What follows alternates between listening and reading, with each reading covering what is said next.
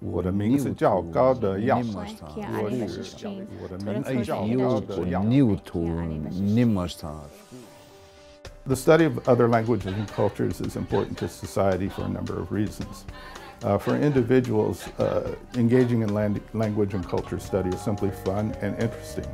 I think languages really give us insight into the uniqueness of a culture. There is insight that can be found in respecting each other's cultures, and so much of that culture depends on language.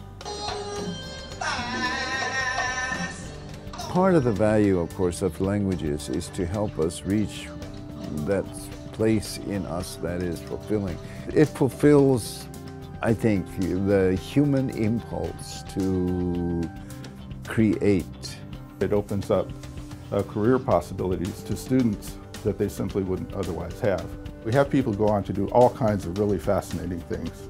As a human person, you know, we have the facility and the capacity to go beyond ourselves.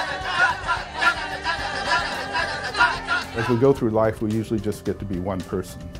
But when you study another language and when you use another language, you get the, to have the opportunity to be a different person.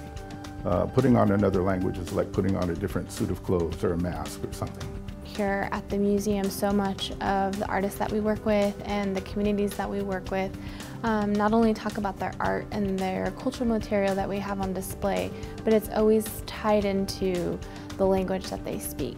I think it's really sad when a language dies out.